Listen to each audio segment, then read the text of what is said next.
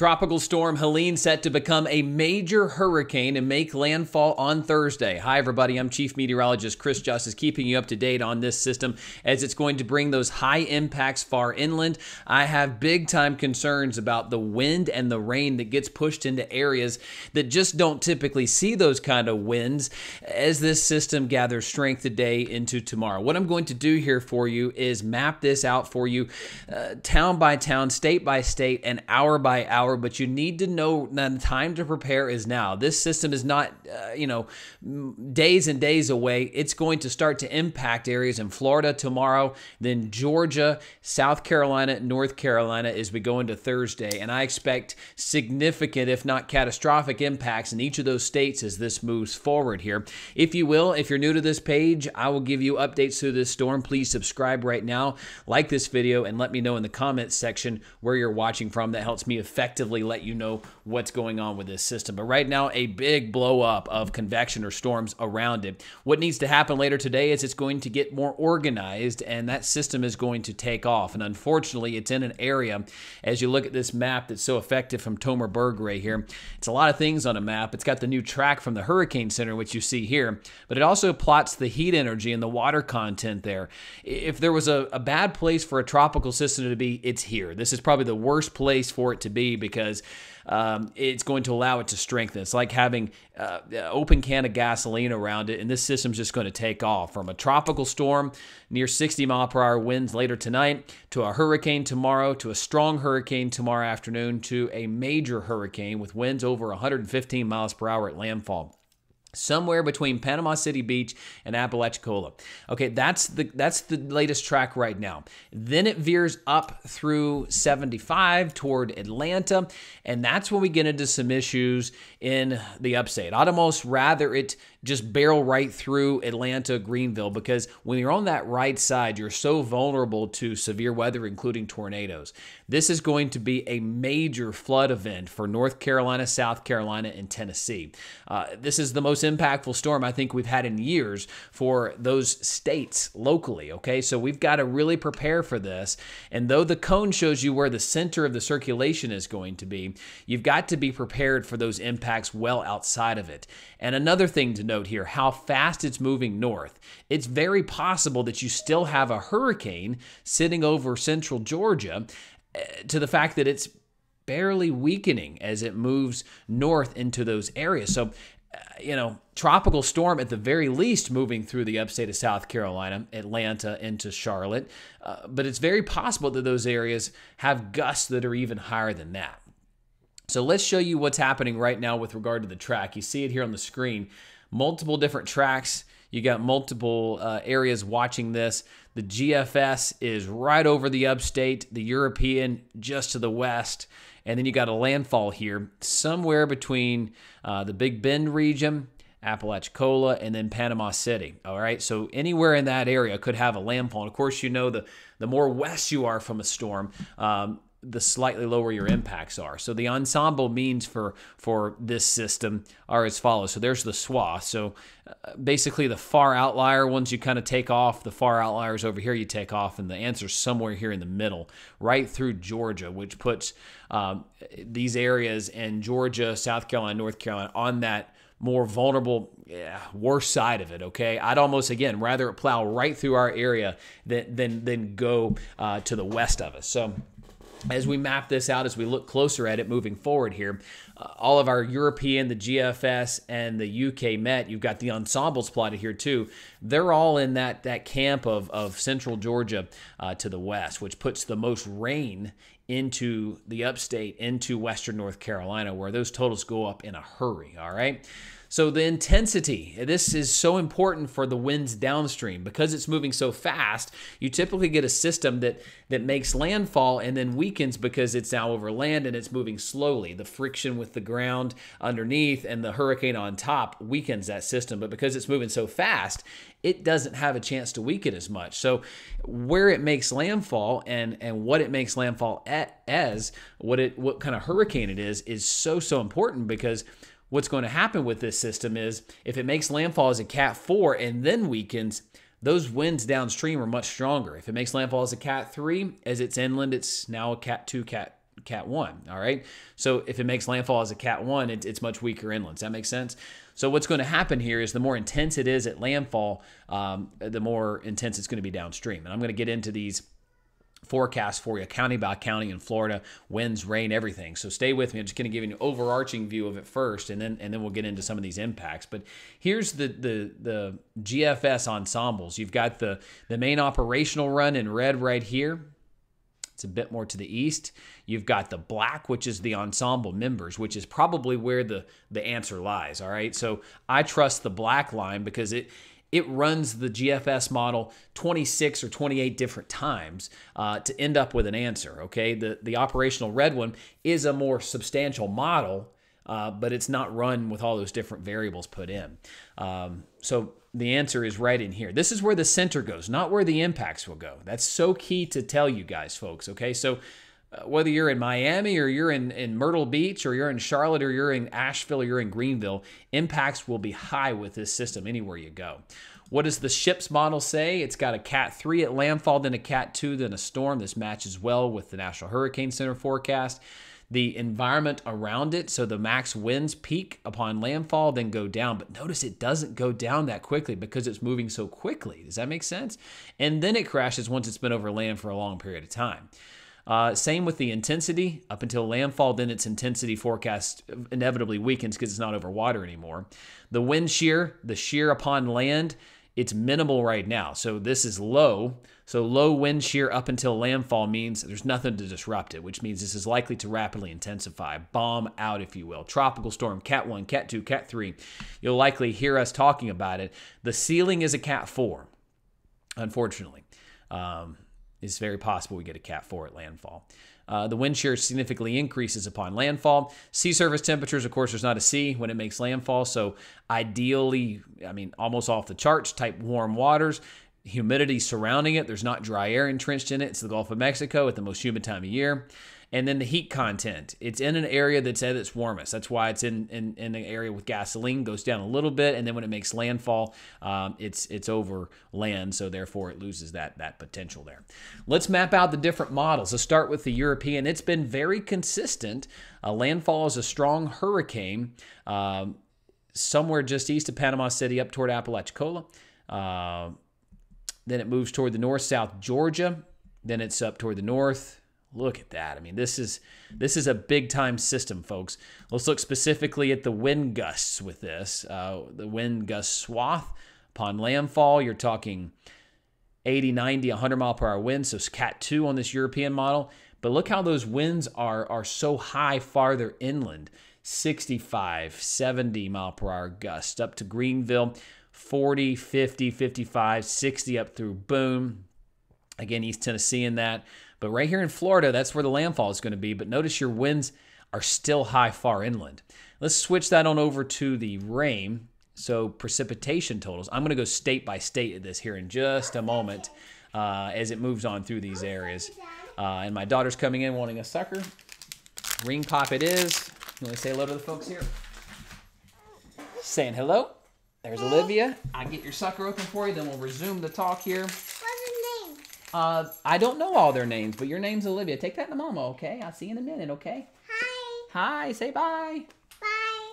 You wave to him? Okay, wave to him real quick. Say bye bye. Okay. I'll see you in a little bit, okay? I got second. She's got a sucker. All right. There we go. Let's get into the rainfall totals here across the upstate through Florida. Honestly, the rainfall totals inland through South Carolina, North Carolina, Georgia, Tennessee are higher than that of the coast by almost double. And you know why? It's because of the mountains and the elevation. That that's almost like you know, you know the old uh, washboards whenever you're washing uh, clothes, right? It, that that land, that mountain range is going to wring out more moisture over those areas and really pack a punch. Okay. So here we go with with landfall. Uh, this is the NAM model. We now have access to some of our high resolution models. So I want to tell you, rain begins for those of you planning um, far inland. There's a front over the Western Carolinas, Tennessee. So rain begins tomorrow and then continues into Thursday. Only gets worse as the day goes on Thursday, and it's not even made landfall yet. It's just that rotation around the system. As it rolls on through, giving that impact far inland. And then it pushes up through Atlanta, up through Greenville, and that's when the rain's just coming down hard, heavy flooding's a risk, and then it moves toward the north right there as this rolls on through. So big time impacts as you go north. Um, let's look at what this looks like on the GFS. The GFS has been far been the most uh, aggressive with wind. It moves a more quick pace all right, it's so much further inland that Central Florida. So many of you, no matter no matter where you're watching from, inevitably everybody's asking about Disney World, Orlando, Universal.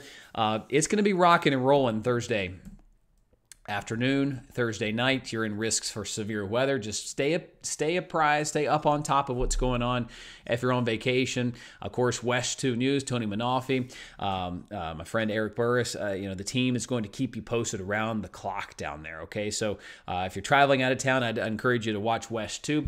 Uh, my colleagues there are going to keep you posted. Uh, moving up through South Georgia, boy, this thing just doesn't weaken. You got 80 mile an hour gust outside of Savannah, Georgia, according to this GFS model, and wind gusts in Greenville, Spartanburg that are approaching 70 miles per hour. Folks, winds at, that speed at the coast, you're thinking, ah, you know, it's a tough tropical storm, but we got that.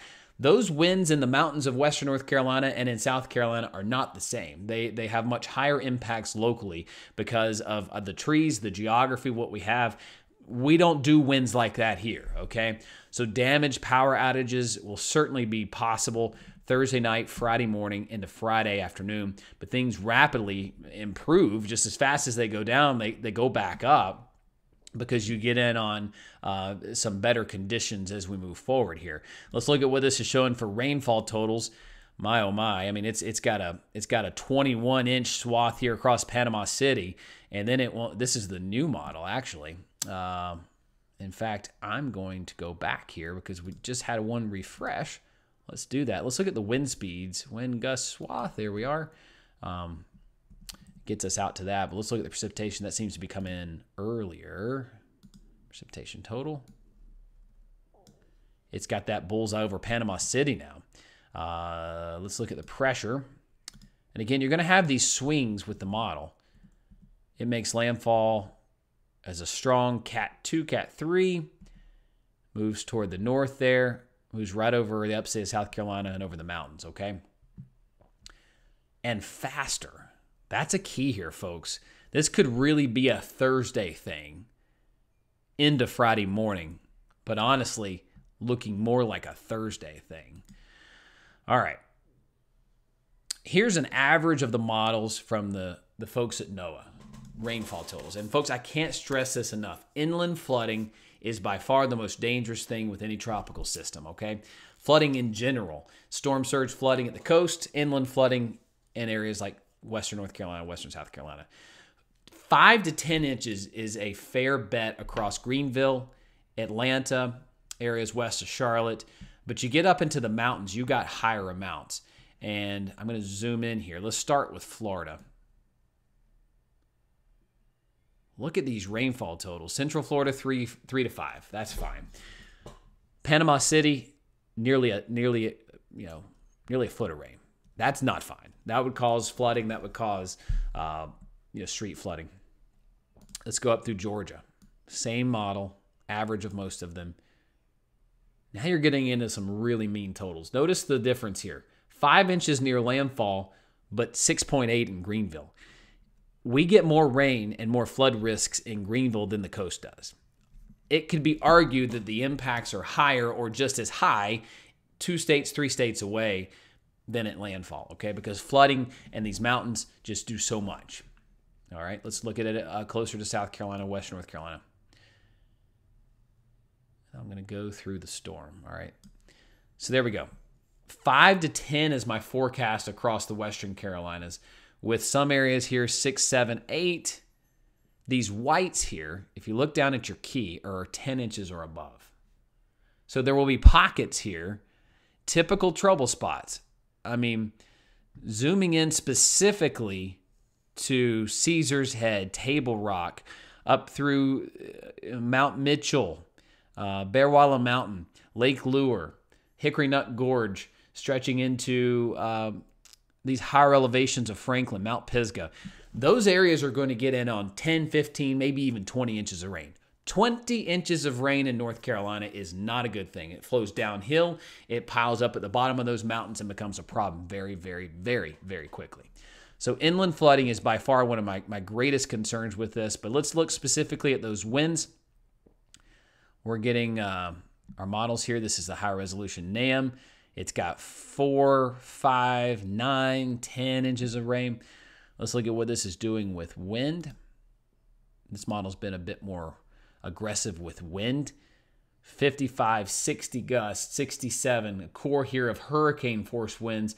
It looks like it transitions from a hurricane here over Augusta to a tropical storm here over Anderson, Greenville, and Spartanburg into the mountains, okay? That's where it that's where it goes. European wins closer to home 50 55 and then GFS wins. Let's see if it's in I'm going to refresh the screen for you. I'm going to give you the most up-to-date information. Doesn't quite get us to that point, but I'll bop it back here. 67, 70 in Spartanburg, 76 toward Augusta, Columbia, uh, in that situation. Let's bop down here and get a southeast view because we do have the model in. Bear with me for a second as we zoom it out to these areas here.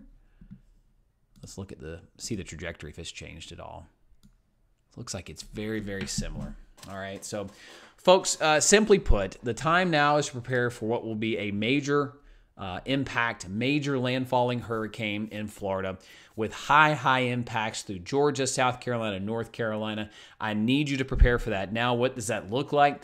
That means making sure you have plans. Um, it's very likely school will be disrupted Thursday or Friday, depending on where you live it's very likely that we have some trees come down. Take note of what's around your home right now. Do you have trees that are a little bit uh, decaying? Take note of that and, and act now. Honestly, that, that may mean sleeping on a different side of your house if that tree um, is vulnerable, okay? That may mean going to stay somewhere else for a day.